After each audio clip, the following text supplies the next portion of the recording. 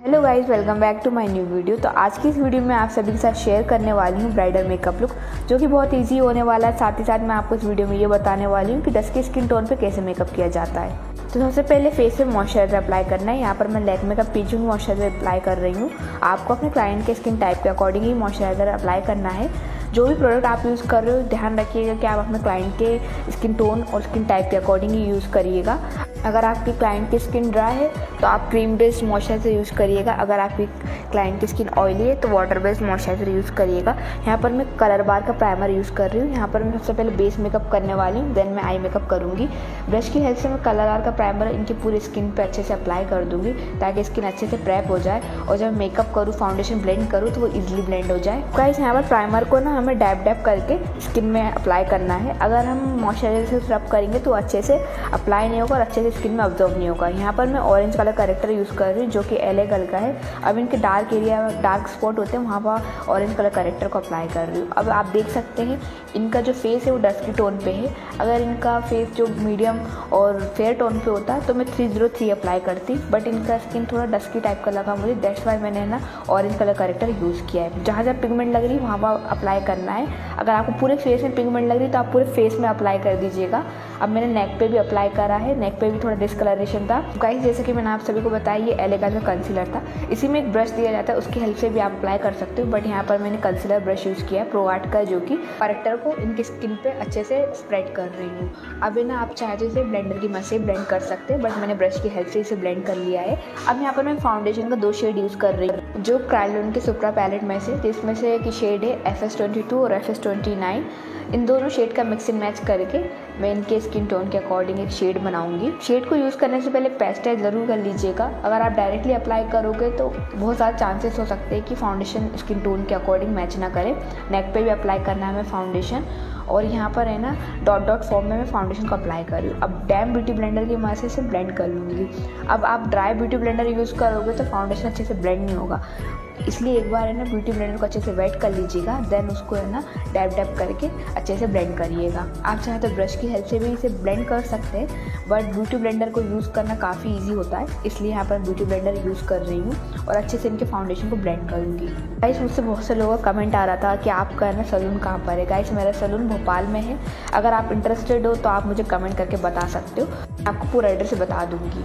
अब गाइज़ है ना मेकअप में बहुत सारी प्रॉब्लम होती है। मुझसे बहुत से लोग पूछते हैं कि उनका मेकअप है ना मेकअप करने के बाद ग्रे हो जाता है। उसके चांसेस ये है कि आप, है ना, अपने स्किन टोन के अकॉर्डिंग है ना फाउंडेशन यूज़ नहीं करते हो। अगर आप अपने स्किन टोन के अकॉर्डिंग फाउंडेशन यूज़ नहीं करोगे तो बहुत जल्दी ग्रे हो जाता है। कंसीलर यूज़ कर रही हूँ। कंसीलर से लेकर हमें कॉम्पैक्ट तक भी क्लाइंट के स्किन टोन के अकॉर्डिंग ही यूज़ करना चाहिए। अगर आप अपने क्लाइंट के स्किन टोन के अकॉर्डिंग सारे प्रोडक्ट यूज़ करोगे तो है ना मेकअप ग्रे भी नहीं होगा और बहुत अच्छा मेकअप होगा। अब जहाँ जहाँ मैंने ऑरेंज कलर करेक्टर अप्लाई करा था, वहाँ वहाँ मैं कंसीलर को अप्लाई कर रही हूँ, क्योंकि ऑरेंज कलर करेक्टर को ज़्यादा ब्लेंड नहीं करते। हल्का हल्का ब्लेंड करने के बाद उसके ऊपर कंसीलर अप्लाई किया जाता है, जिससे ना, जो टोन होता है, जो स्किन टोन होता है, वो पूरा इवन आउट हो जाता है। ब्लेंडर की मदद से ब्लेंड करिएगा डैबिंग मोशन में कंसीलर को भी, और कंसीलर को अच्छे से ब्लेंड करिएगा। अंडर आइज़ पे सबसे लास्ट पे ब्लेंड करिएगा, क्योंकि कंसीलर को अंडर आइज़ पे सबसे लास्ट पे ब्लेंड करने से क्या होता है कंसीलर अच्छे से आइज़ पे सेट हो जाता है। मुझे ये भी कमेंट आया था कि उनका मेकअप है ना, करने के बाद फट जाता है। अब वो रीज़न हो सकता है आपके जो फेशियल हेयर होते हैं, उसकी वजह से भी जो हमारा बेस होता है, वो फ्लॉलेस नहीं बनता है। और आप अपनी स्किन को अच्छे से स्क्रब कर लीजिएगा जब आप मेकअप कर स्टार्ट करते हो तो। तो उससे क्या होता है स्मूथ सरफेस हो जाता है और जो फाउंडेशन होता है, जो सारे प्रोडक्ट होते हैं, वो इवनली ब्लेंड हो जाता है और जो हमारा सरफेस होता है, वो काफ़ी स्मूथ लगता है। अब यहाँ पर मैं लूज़ पाउडर यूज़ कर रही हूँ, जो कि मेबलिन का है। अब गाइस समर्स में ना लूज़ पाउडर यूज़ किया जाता है। उसकी हेल्प से क्या होता है, जो फेस होता है, वो अच्छे से सेट हो जाता है। यहाँ पर मेबलिन का लूज़ पाउडर यूज़ किया है, जिसमें पाउडर ब्रश की हेल्प से इनके पूरे फेस पर अप्लाई कर रही हूँ। और लूज़ पाउडर से अच्छे से अंडर आई को भी सेट कर लीजिएगा। ब्राइडल मेकअप कर रहे हो तो आप कॉम्पोस्ट को अवॉइड करिएगा। अब यहाँ पर मैं स्विच ब्यूटी का पैलेट यूज़ कर रही हूँ, जिसमें से मैं कॉन्टोर का शेड लूँगी और इनके फेस को कॉन्टोरिंग करूँगी। यहाँ पर मैं पाउडर कॉन्टोरिंग कर रही हूँ। आप चाहे तो क्रीम कॉन्टोरिंग भी कर सकते हैं। अब यहाँ पर मैं इनके जो लाइन पर कॉन्टोर कर रही हूँ, क्योंकि इनको डबल चिन की भी प्रॉब्लम थी तो इनका फेस काफ़ी अच्छा चबी था। दैट्स वाई मैं इनके फेस पे अच्छे से कॉन्टोरिंग करूँगी। फॉरहेड पे भी ज़रूर कॉन्टोरिंग कर लीजिएगा, ताकि जो फेस है वो इवन आउट लगे। क्योंकि फाउंडेशन अप्लाई करने के बाद जो फॉर होता है वो बहुत वाइट हो जाता है। तो उसको इवन करने के लिए ना फॉर पे भी कॉन्टोर करना ज़रूरी होता है। नोज़ पे कॉन्टोर करने के लिए यहाँ पर मैंने छोटा वाला आई मेकअप का ब्रश लिया है। ब्लश के लिए यहाँ पर मैं दो शेड का मिक्स एंड मैच करके एक ब्लश का शेड बना रही हूँ जिससे मैं इनके ब्लश एरिया पर अप्लाई करूँगी। जैसे कि चिन पे नोज़ पे और चीक्स पे। ब्लश को अच्छे से अप्लाई करिएगा क्योंकि ब्राइडल मेकअप है। अगर आप ब्रश लगाने में कंजूसी करोगे तो हमारी जो ब्राइड है वो अच्छी नहीं लगेगी। आईब्रो को फिल करने के लिए मुस्कलर की आईब्रो पैलेट यूज़ करिए। जिसमें से सबसे पहले मैं लाइटर शेड यूज़ करूँगी देन डार्कर शेड पे जाऊँगी। स्टार्टिंग का आईब्रो को हमेशा लाइटर शेड से फिल किया जाता है। लास्ट में आईब्रो को शेप भी देते जाइएगा। आईब्रो को शेप देने से क्या होता है गाइस आई मेकअप और अच्छा दिखता है। सबसे इंपॉर्टेंट होता है अपने फेस में आईब्रो अगर आप आईब्रो अच्छे से फिल करोगे तो फेस ऑलरेडी अच्छा लगने लगता है। अब यहाँ पर मैं सेम कंसीलर यूज़ करूँ जो मैंने सिर्फ़ ब्यूटी का कंसीलर यूज़ किया था और इनके एज अ आई क्रिएट कर रही हूँ यहाँ पर। आप चाहे तो लाइटर शेड का कंसीलर भी यूज़ कर सकते हैं बट यहाँ पर मैंने सिल्क ब्यूटी का कंसीलर यूज़ किया है। फ्रेड ब्रश की हेल्प से इनके पूरे आई रेट पर ना कंसीलर को अप्लाई कर दूँगी और ब्रश की हेल्प से ही इसे ब्लेंड कर दी जाऊँगी। अब यहाँ पर गाइस मैं ना बहुत सिंपल सा आई मेकअप करने वाली क्योंकि क्लाइंट कैस काफ़ी छोटी थी तो इसलिए यहाँ पर मैं सिंपल सा आई मेकअप करने वाली हूँ। अब यहाँ पर मैं ट्रांजिशन लाइन ड्रॉ कर रही हूँ। तो इस ब्यूटी की पैलेट यूज़ करी जैसे इसमें लाइट ब्राउन कलर का शेड लिया है और ट्रांजिशन लाइन क्रिएट करी है। यहाँ पर मैंने बड़ा वाला ब्लेंडिंग ब्रश यूज़ नहीं किया है, यहाँ पर मैंने मीडियम साइज़ का ब्रश यूज़ किया है, जिससे मैं इनकी ट्रांजिशन लाइन को ड्रॉ कर रही हूँ और अच्छे से ब्लेंड कर रही हूँ। ट्रांजिशन लाइन को आप जितने अच्छे से ब्लेंड करोगे आई मेकअप उतना अच्छा होगा। तो आई मेकअप को अच्छे से ब्लेंड करिएगा तो हमारा आई मेकअप भी अच्छा होता है। अगर आप अच्छे से ब्लेंडिंग नहीं करोगे तो आई मेकअप बिगड़ जाएगा तो ब्लेंडिंग अच्छे से रखिएगा तो आई मेकअप आपका अच्छा दिखेगा। अब यहाँ पर मैं निकाह के nine colour eye shadow palette use कर रही हूँ, जिसमें से मरून कलर का शेड लूँगी, क्योंकि इनके लहंगे का कलर मरून कलर था। डेट्स वाई यहाँ पर मैंने मरून कलर का शेड लिया है। और जिसे मैं आउटर पे प्लेस करूँगी, और धीरे धीरे ब्लेंड करते हुए एक क्रीज बनाऊँगी। अच्छे से क्रीज बनाइएगा, और इन्हें ब्लेंडिंग भी अच्छे से करिएगा। आई शेडो को इनर तक लाने की कोशिश करिएगा। गाइस मेरे को कमेंट आया था कि बिगनर्स के लिए आई मेकअप बताइए डिटेल में। मैं आपको है ना नेक्स्ट वीडियो में या अपनी आने वाली वीडियो में ज़रूर बताऊँगी कि कैसे है ना बिगनर एक आई मेकअप कर सकता है। अब मुझे कमेंट में ये भी आया था कि मैं बहुत फास्ट फास्ट बताती हूँ। गाइस मैं कोशिश करूँगी मैं स्लो बोलने की। तो मेरी नेक्स्ट वीडियो में आपको देखने को मिलेगा कि मैं स्लो बोलूँगी।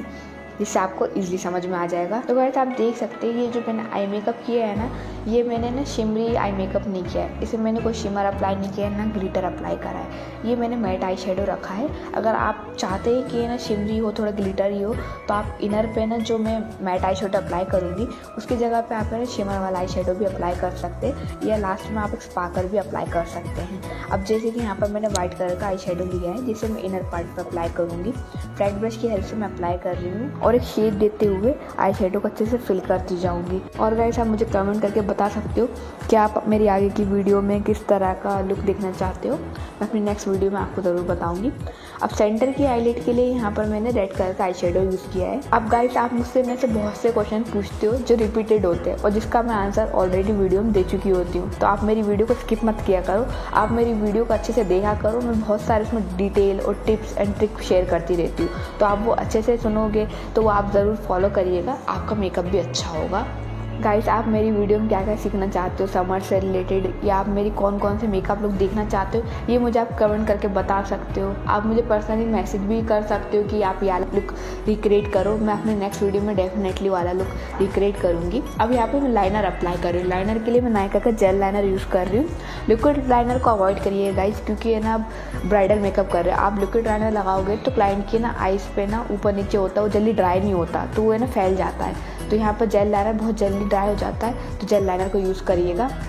अब गाइस इनकी आइज़ काफ़ी छोटी थी, इस वजह से यहाँ पर मैंने विंग लाइनर अप्लाई नहीं किया है। यहाँ पर मैंने बेसिक सा लाइनर अप्लाई किया है और उसे आउटर में ले जाके समझ कर दिया आजकल ये वाला आई मेकअप काफ़ी ट्रेंड में है और यहाँ पर मैंने मस्कारा अप्लाई करा है, जो कि मेबलिन का क्लोसर मस्कारा है, जिसे मैं अच्छा माउंट पेन के अपर और लोअर लैशेस पर अप्लाई करूँगी। लिपस्टिक के लिए यहाँ पर मैंने लिप पेंसिल यूज़ कर रही जो कि सी की लिप पेंसिल है, जिसमें कि शेड है बरगंडी।